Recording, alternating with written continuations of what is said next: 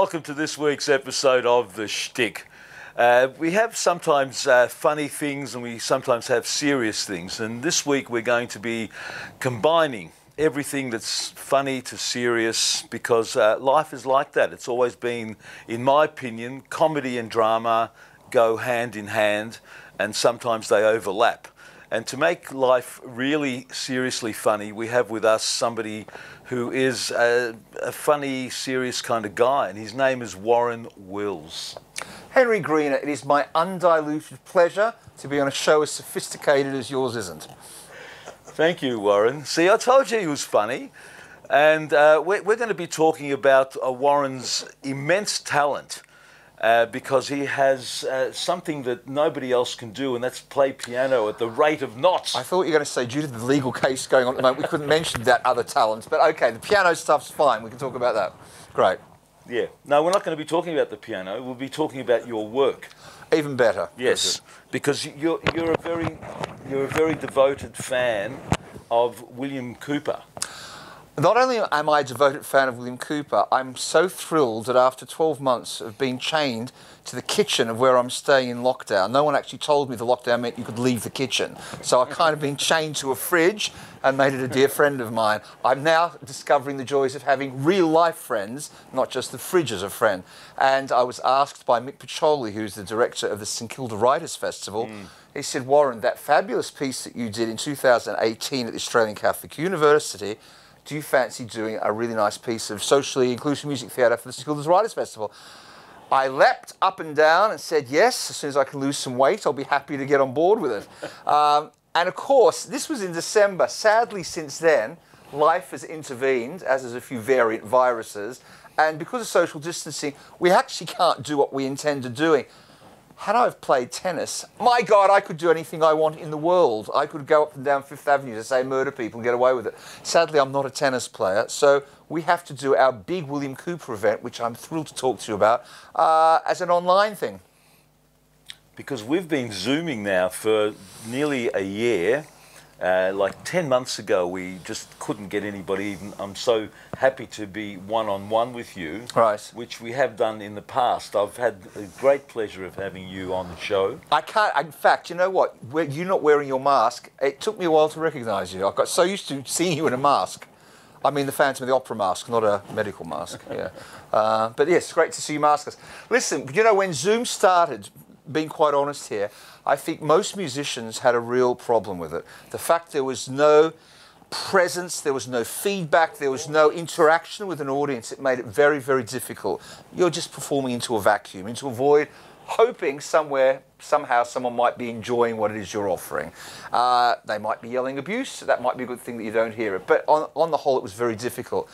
Then I, I believe quite firmly that quite unwittingly, we started to think, well, hang on, if I was going to be doing a show, whether it be to 50 or 5,000 people, that would have been my audience. Suddenly you realize, hey, we are, we are in a situation of endless possibilities here, and Zoom has created an environment which is a global environment. Anyone can Zoom in now and participate.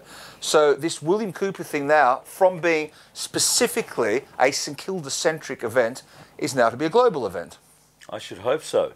And last um, November the year before last because we've lost a year somewhere. Mm-hmm. I'm just speaking to that was my kitchen year. that was the kitchen year, the, the kitchen sink year. That's it. And and you really sunk into it. Oh which yeah. was unfortunate. Oh, yeah. But now now you're out and about, which mm-hmm. is wonderful to have you here. By the way, the adage is never eat more than you can lift.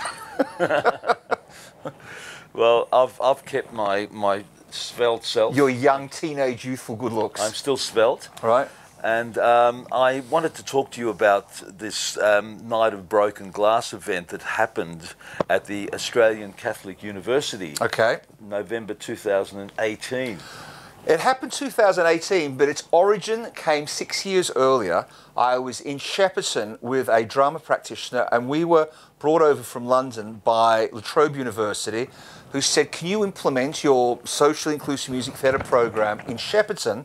Because they have a very high illiteracy and innumeracy rate amongst young people there, particularly a lot of Congolese refugees, indigenous kids, and so on. So we went over there And one of the first things we do in any community in order to galvanize the community, let's find something that's topical, a theme that brings everyone together. Well, one thing that I found particularly exciting, first of all, about being in Shepparton, and this is total coincidence, is my grandfather, when he arrived as a refugee from Poland in 1937 or 8, he was sent to Shepparton by the local authorities to go and work on an orchard.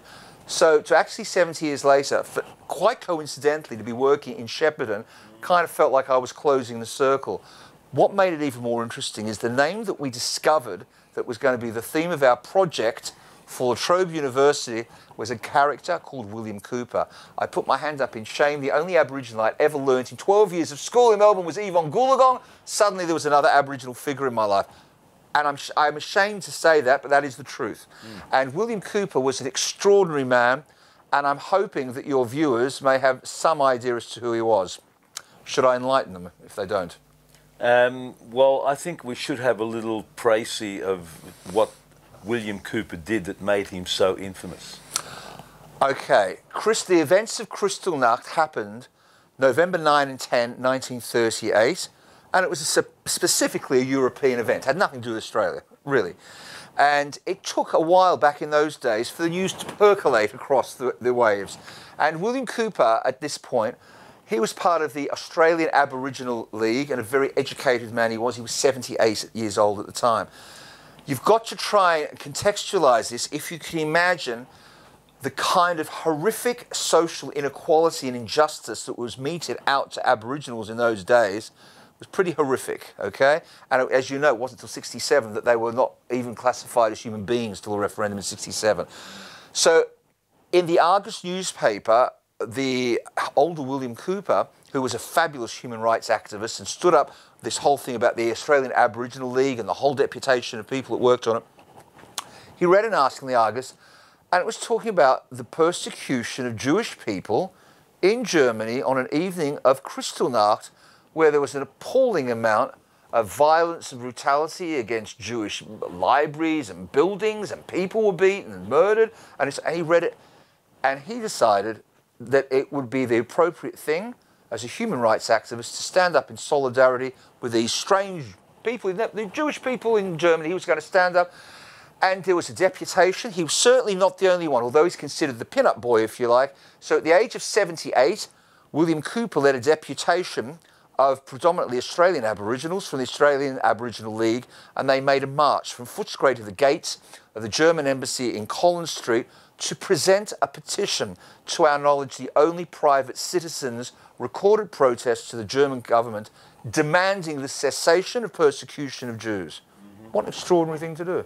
Yeah, so that made him very famous, and he's also now been acknowledged by uh, the Yad Vashem in Israel, right. by the uh, JNF. They've devoted an, an, entire forest in his name. Uh, the, the Bar Ilan University has named a. It's coming, and him. the tour de force, the crowning glory, the big moment. Da-dum. December 6th last year, Chancellor Angela Merkel, finally, mm. 82 years belatedly 82 years after, but nonetheless very historically and significantly, mm apologised for the rejection of the petition of William Cooper and his delegation and fully acknowledged the recommendations and endorsements in the petition. This now seals in history, I believe, mm. the relationship between two oppressed minorities who were both struggling and fighting for what we should all be fighting, and that is racial harmony and equality and social justice. And that's what our piece is about. Right. Well, I think we're going to be seeing some of it on April 25th. It was due to be done. We, we hope you can do something on February 21. COVID. Henry, I used to have a head full of beautiful hair. I'm losing my hair and I'm going grey because this government here, not just here, every week you can wear a mask but don't wear socks. The next week you can have social distancing but you can yeah. kiss your brother-in-law. I don't know what's going on to no, be honest, okay? I All I can tell you is we had a beautiful program, a live program that we were so looking forward to presenting in St Kilda.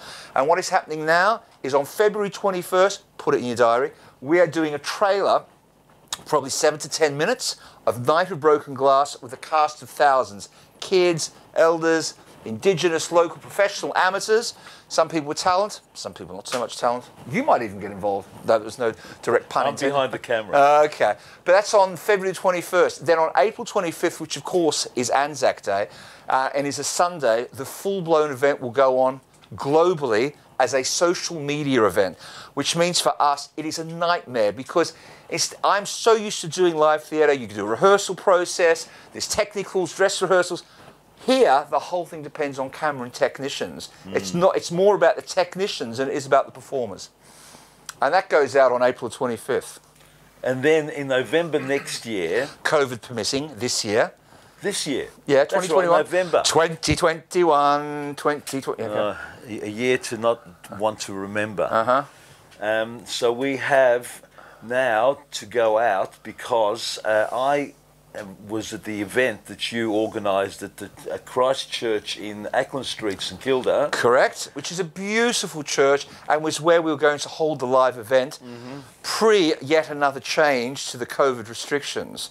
But there are two fantastic live events people need to be really cleared up for this year. One, of course, is put a jab in your arm, and the other is with the other arm, make sure you attend in November physically in person the Night of Broken Glass, which at the moment looks like it's earmarked for the Palais. Wonderful.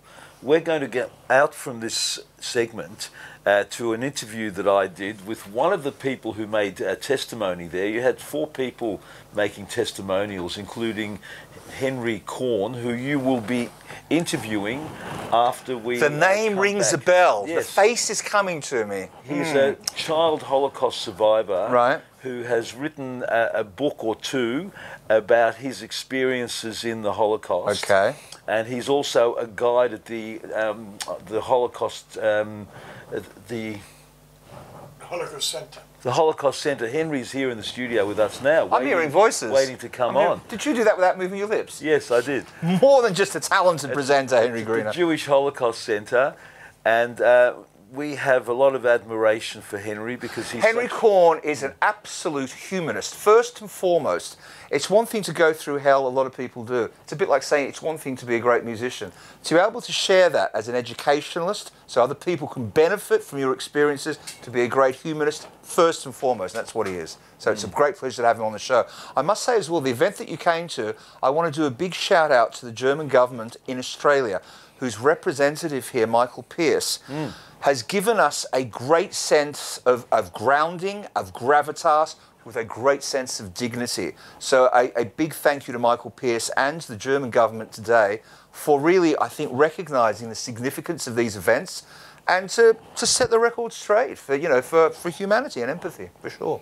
Yeah, and the other person who gave a testimonial was a lady by the name of Sarah Saaroni, absolutely delightful. Yes. And has managed to channel so much of her experiences into the most glorious sculptures. Really quite a sensational talent as well. And the fourth person who actually came first was a fellow who is a legend in his lifetime, Jack Charles.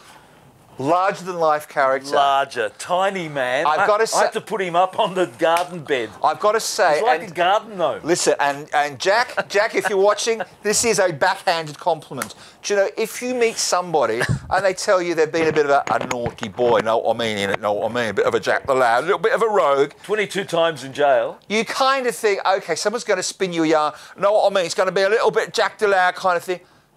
Jack is such an enthusiastic, eloquent, and articulate storyteller. Fabulous. That's the way you should tell stories. Such, such fervour and passion, but such eloquence and grace as well. Fantastic. We're going to see Jack now coming up in the next segment where I actually got him for a, an interview, which I was so so thrilled to get him, mm-hmm. and I didn't realise that he was a fan of the shtick. He that now makes it number four. There are four fans of the shtick now. Maybe five. Five. Uh, so Four of, the, four of them are fully clothed. So we're going out now. We're going to see uh, myself and Jack Charles in the garden at um, the Christchurch. I thought we were going to see the interview. Oh, I see what you mean. Sorry. Yeah. I, I, sorry. What you do in your private time with Jack is your business. Sorry. I said- no, the interview. And we'll be back after Jack Charles with Warren Wills interviewing Henry Korn. And you won't be seeing much more of me until next time. when we have more shtick. Missing you, wanting you, loving you, Henry. Thanks, Warren. Thanks for coming on.